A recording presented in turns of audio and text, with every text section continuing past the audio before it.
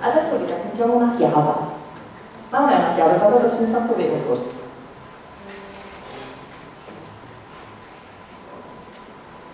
In alto, fra le montagne, c'è un paesino con un campanile piccolo, ma molto snello, e con la punta aguzza. Il paesino si trova proprio nel mezzo di una valle piuttosto ampia. Un colle separa questa valle da una vallata vicina. Dall'una si può raggiungere l'altra lungo un sentiero più o meno di tre ore di cammino. Per i montanari avvezzi alle grandi distanze e alle pesanti fatiche è una cosa da nulla. A mezzogiorno è visibile una montagna coperta di neve dietro il colle. Tutto l'anno, d'inverno e d'estate, la montagna si affaccia sulla valle dominandola con la sua bianca distesa. Il paesino si chiama Gscheid e la montagna? Gas e oltre il colle c'è un borgo, Misdorf.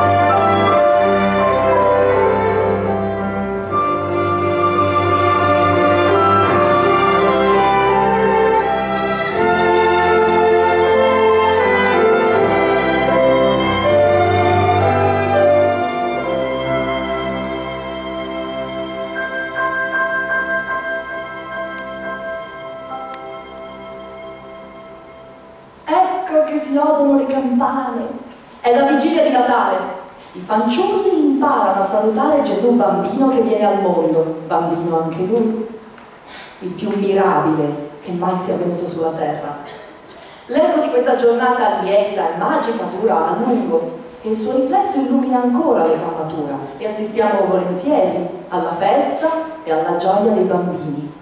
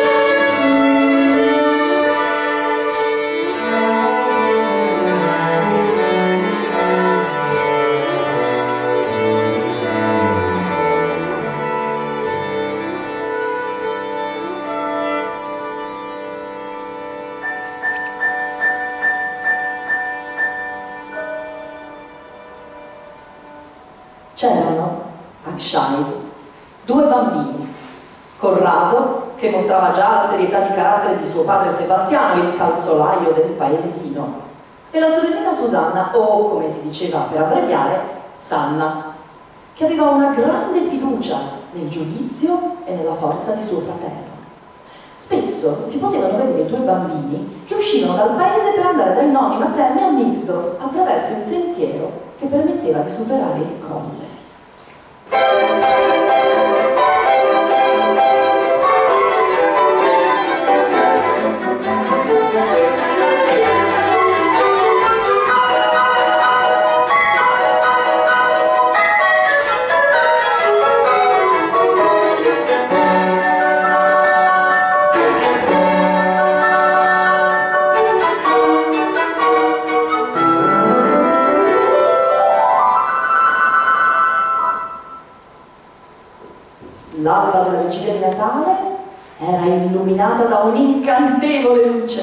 L'aria era tesa e sottile. La mamma, vedendo una giornata così bella, disse ai suoi bambini, è una bella giornata, non piove da tanto tempo, il sentiero è asciutto. Potete andare oggi a trovare a Misnor i nonni. Li vestì, li benedisse con un segno di croce e li vide partire.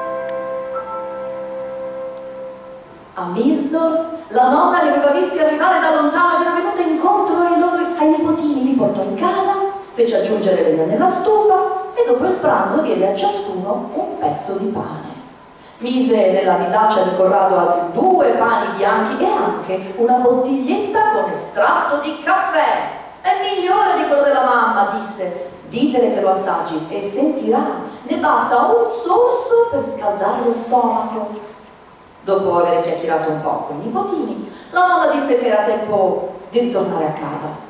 Attenti a non prendere freddo, non correte per i prati sotto gli alberi. Se verso sera si leva il vento, camminate adagio. Salutate il babbo e la mamma e fate loro tanti auguri di buone feste. La nonna li baciò sulle guance, i bambini lasciarono Bistroff, passando accanto ai campi del nonno, presero la strada che risaliva lungo il colle.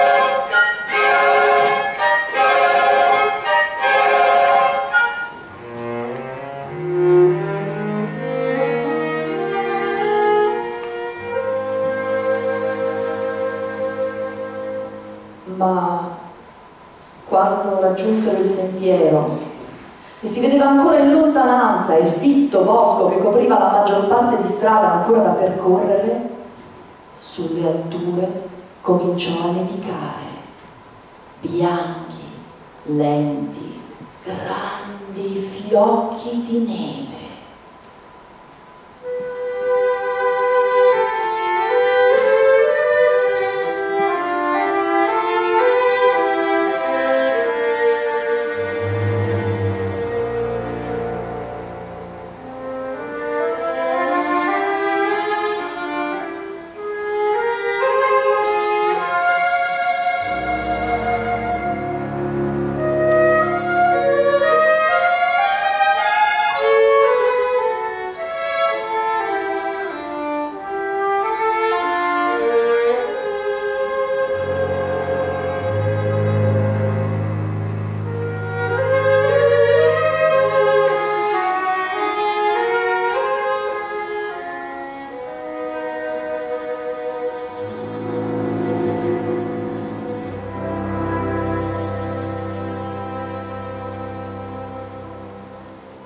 Sanna, disse il ragazzo. Io lo sapevo che avremmo avuto la neve. Quando siamo andati via dalla casa del nonno si vedeva ancora il sole, era rosso come la lampada del Santo Sepolcro. Adesso non si vede più e sulle cime degli alberi c'è soltanto nebbia grigia. Questo vuol dire sempre che sta per nevicare.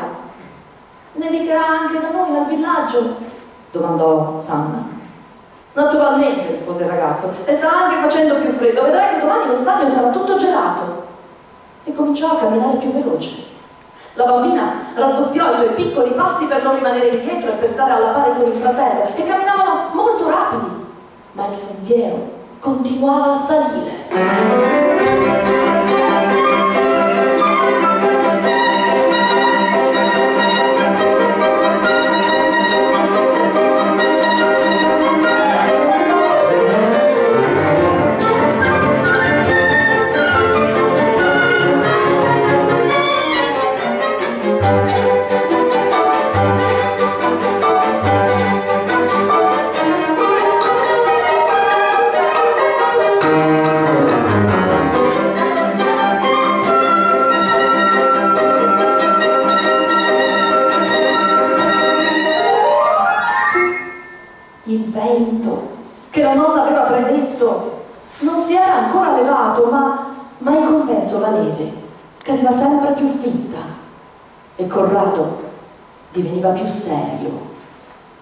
Procedeva con fiducia, nella certezza che presto avrebbero veduto la colonnina rossa. Era quello il punto lungo il sentiero dal quale si imboccava l'ultimo tratto di strada, quello giusto per arrivare al villaggio, a casa.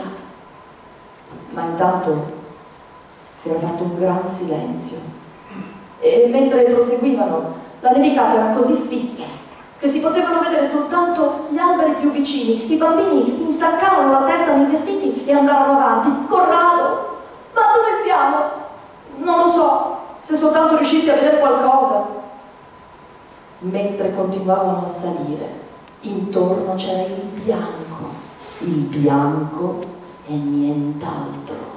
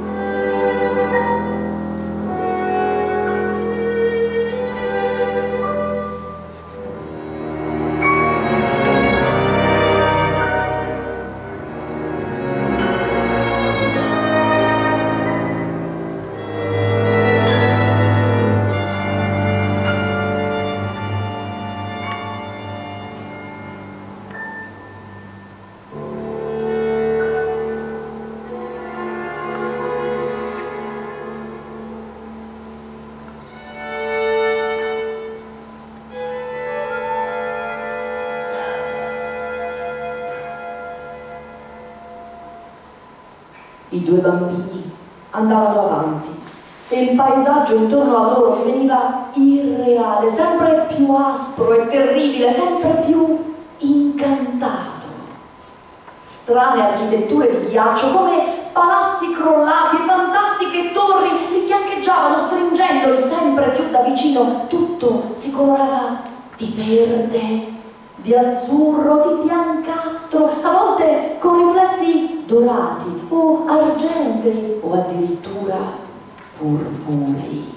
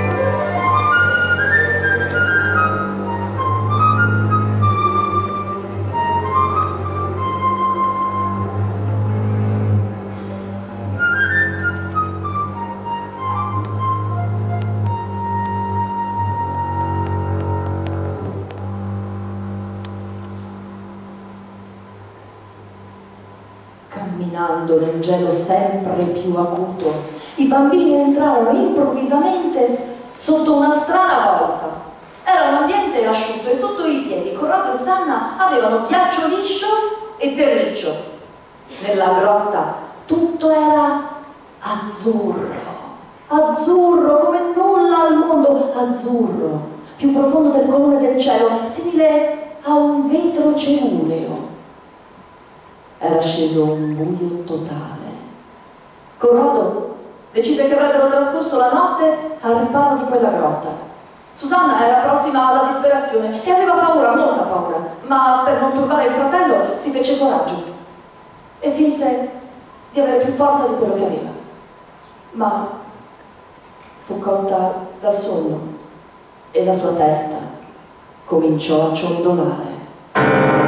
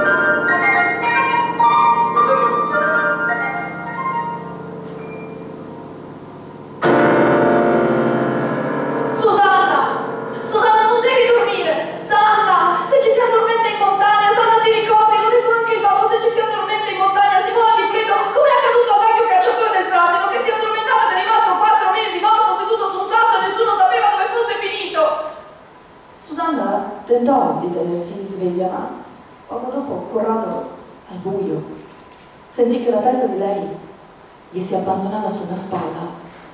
Allora la scosse energicamente, la costrinse a levarsi in piedi, mangiarono il pane della nonna e vuotarono quasi tutta la bottiglietta del caffè. E i due bambini sentirono allora caldo dentro e si rincuorarono un po' e divennero più vivaci.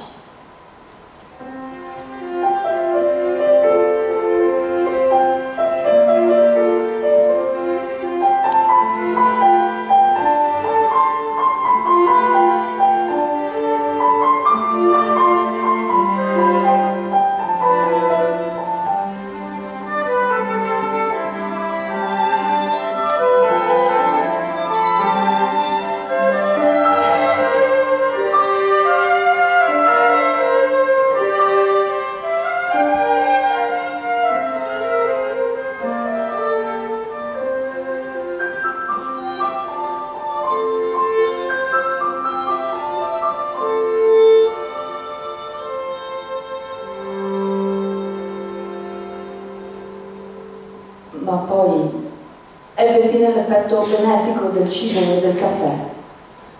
Corrado aveva sempre in mente la sorte del cacciatore assiderato, ma né lui né Sanna avrebbero ormai potuto vincere il sonno, la cui suadente dolcezza è più forte di ogni reazione e di ogni ragione. Non l'avrebbero potuta vincere la soave insidia del sonno se la natura stessa non li avesse assistiti, donando loro un'insolita possibilità di resistere.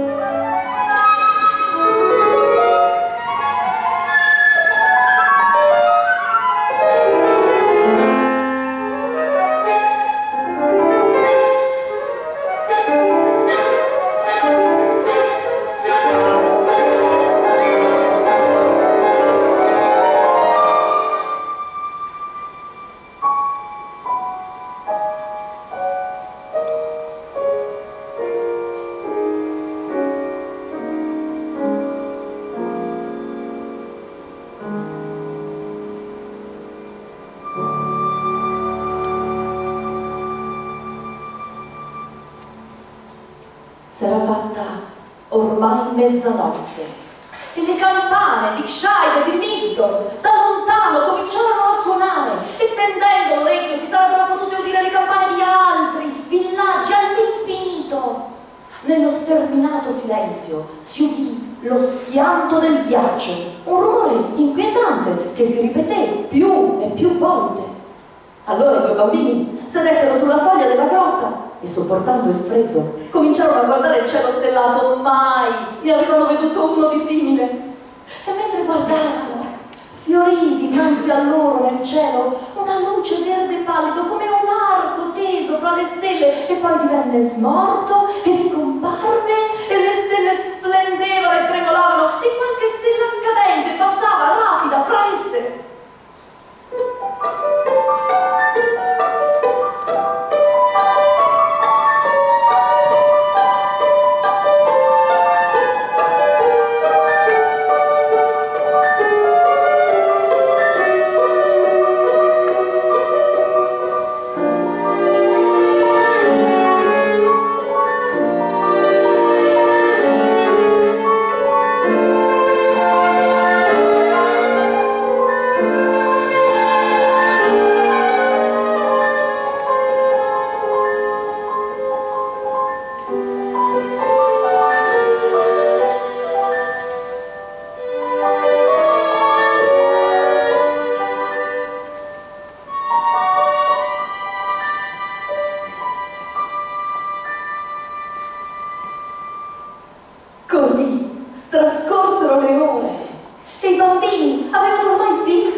solo e finalmente il cielo cominciò a farsi più chiaro, alcune stelle si spensero, altre si diradarono e infine si coronò di giallo una zona del cielo e un lembo di nuvola che era in essa si accese e divenne un nastro lucente. Ora le colline nevose si disegnavano nitide. Sanna, si fa giorno, andiamo!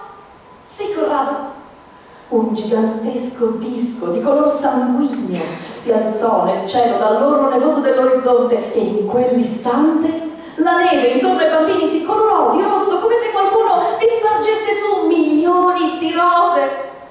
Uscirono sulla neve e si sentivano rinvigoriti anche se non avevano dormito ed erano allegri. Ma... Ma un nevaio seguiva un altro nevaio lastre di ghiaccio a lastre di ghiaccio. Mancava qualsiasi orientamento, qualsiasi segno riconoscibile. Corrado decise di non mostrare alla sorella il proprio timore e sorrideva per assicurarla, ma con il cuore che balzava nel petto, aguzzava la vista in tutte le direzioni.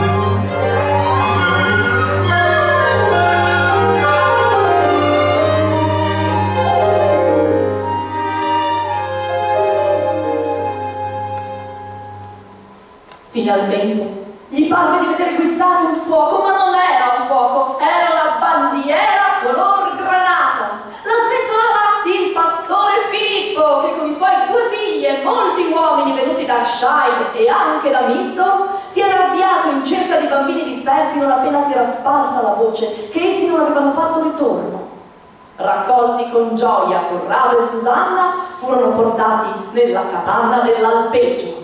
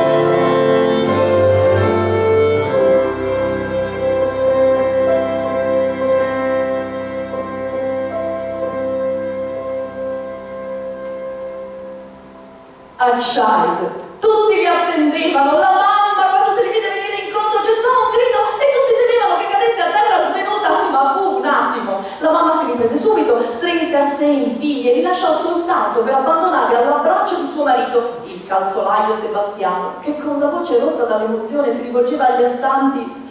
Vi ringrazio, amici. Intanto la piazza del villaggio si era riempita di gente e dal piccolo campanile aguzzo veniva il suono delle campane. La nonna, arrivata a fatica da Misdorf durante la notte, era commossa, ma faceva la voce severa, con la figlia più che con i nipotini. Mai più, eh? Mai più i bambini prenderanno la via del, del colle d'inverno. I bambini mangiarono e furono messi a letto. Susanna però non riusciva a dormire. Mamma, mamma, senti, mamma, mamma. Ma, ma Gesù bambino è arrivato anche lui. La mia cara, la mia brava bambina, ma sì, è arrivato, ti ha portato i doni che presto vedrai. I bambini non dimenticheranno mai la montagna di Gaza e quando la guarderanno dal villaggio si faranno seri e pensosi nel contemplarla diverranno adulti, avranno figli e nipoti e quando saranno in giardino e il sole splenderà e Dio spargerà il suo profumo e ronzeranno le api, solleveranno gli occhi verso quella cima nevosa e ghiacciata e la montagna li guarderà dall'alto, azzurra e incantata come la dolce volta del cielo.